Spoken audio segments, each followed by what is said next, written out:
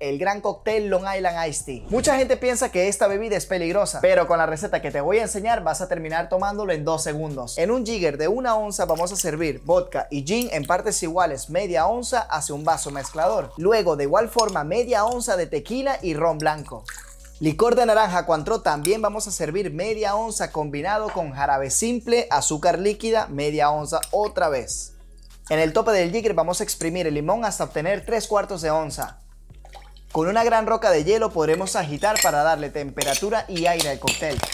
En un vaso alto previamente frío vamos a colocar unas rocas grandes de hielo. Después de agitar vamos a doble colar dejando un espacio considerable en el tope para el último ingrediente, la Coca-Cola, que por cierto debe estar bien fría. No te excedas con el refresco, la idea es completar solo un toque. Para finalizar colocando el limón en el tope y un sorbete. Y aquí lo tenemos este refrescante té repotenciado. Y déjame en los comentarios cómo te gusta hacer